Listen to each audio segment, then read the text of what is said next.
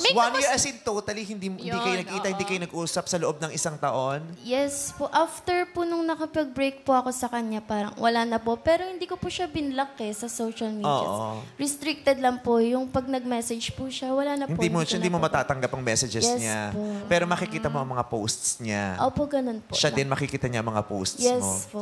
Gaano ba kayo katagal na naging mag-on, Sean? Magwa one year na po sana. Magwa one year na siya, na sila ni Sean. Sean. Oo. Si Mag- Sean. As in 11 months, ganun? 11 Ano months po, and a ah, couple of days and weeks? One day na lang po. Ay, oo nga. One day na lang po. Isang taon na sila magsasama. One day, one day, one day, one day,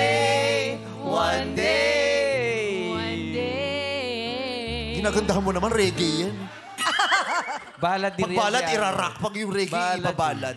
One day na lang. Wait, hindi mo pa Grabe. nahintay. Bakit?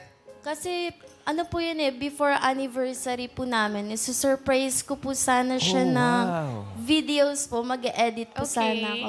Kaya nagpunta po ako sa TikTok account niya, which may access naman po ako, pero hindi ko po kasi laging binubuksan. So, habang nagkukuha po ako ng mga videos sa TikTok, parang bigla na lang pong nagka-intuition ako na mapindot yung search. yung- Intuition. Nag-aaral kasi siya nun eh. Hindi! Tuition. Hindi, iba yung tuition. Nag-aaral siya nun, kaya kailangan. Bigla siyang nagka-intuition. Intuition, Parang- and then enrollment after. Tapos incomplete. Ayaw Intuition, natin enrollment, incomplete. incomplete. Hindi naka-graduate. Anyway, nagka-intuition ka na, kalkalin yung ano? Opo, parang napinindot ko po yung watch history niya. Wala naman po akong na- nasa isip pa talaga that time. Tapos ako po yung na-surprise habang naghanap ako ng surprise sa kanya kasi yung watch history niya po sa TikTok is puro mga sexy girls po na sumasayaw sa TikTok. Ganun. Okay. Yes, na kinagulat ko po kasi pagkakakilala ko po sa kanya, mahilig po siya sa mga cat videos, funny videos na sinisendan niya Baka po may kasi cut din ako yung mga babaeng sexy.